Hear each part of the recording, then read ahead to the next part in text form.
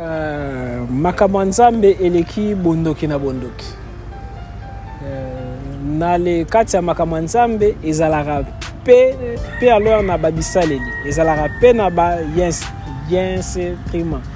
jésus abikisaki bato na liloba mais ezalaki na moment moko autilisaki soyi abwaki na mabele acreye formule efata ti alors ezelu na miso aveugle aveugle amonaki tomoni aussi moïse ya le esalaki ba miracle ebele grâce ya baguette na ye grâce ya ba matériel na ye tomoni aussi jésus quelque part ntango akoti na kati ya synagogue azali oteya alors makambo alobaki esepelisaki bampaka te esepelisaki ba ancien te par conséquent Balukaki baboma Jésus. Bazui Jésus, bakei na ye mpo na babwake na ngomba. La Bible dit ntango oyo bakei na ye mpo na babwake na ngomba, balibeta ye.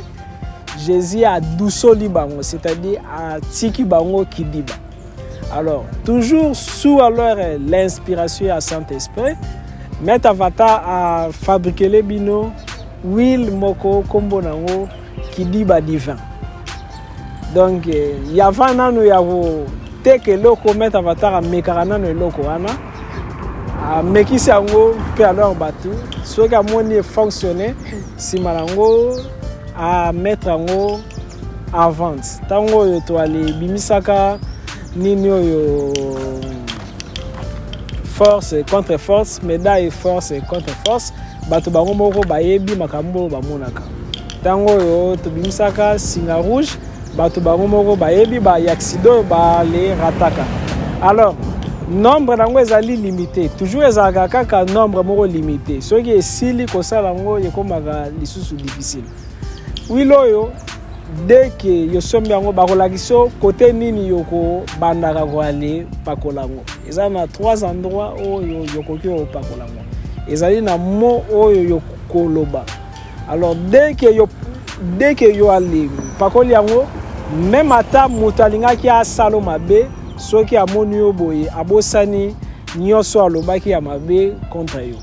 soki alors ezalaki na bato bazali okanela yo batelemi liboso ya porte na yo ya lopango to mpe na coin ya avenue soki mpakoli yango oyo koleka inaperçu soki alors ezali na babandi bakoteli yo yo yozwi wile oyo yo ale pakoli yango na bale ya ndroit wana opakoli yango bana opakoli yango mwasi opakoli yango mobali alors par euh, conséquent miyibi wana bakozala distrait fo pa mpe yokoki okanga miyibi wana omemi bango kote nyonso oyo yolingi to mpe alors bakosala lisusu eloko te babimi mpe parce que nkombo na yango kidiba ezali mpo na koale yanvute banguna na biso physiquement ndenge alors bango ba envoutaka biso yo mpe okoki koale envoute monguna na yo alors mpo na koalizwa wilo oyo contacte maître avatar ya privé mpo na koyeba koma alors yokoki koale zwa ngo nombre na yango ezali limité stock na yango eza limité alors eh, numéro ya telefone ezali 00243